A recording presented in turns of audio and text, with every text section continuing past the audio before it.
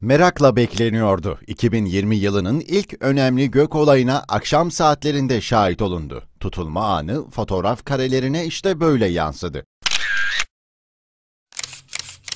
Parçalı ay tutulmasında gökyüzüne yükselen ay saat 22 sıralarında tam parlaklığına ulaştı.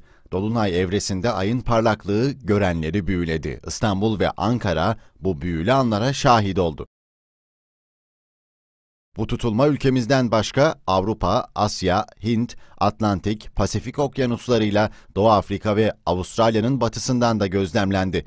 Paris'te Eyfel Kulesi çevresinde fotoğraf makinelerine işte bu kareler takıldı. Yılın ikinci önemli gök olayı ise 5 Haziran'da yaşanacak. Parçalı ay tutulması ülkemizden de gözlenebilecek. Tutulma Türkiye saatiyle 22.25'te yaşanacak.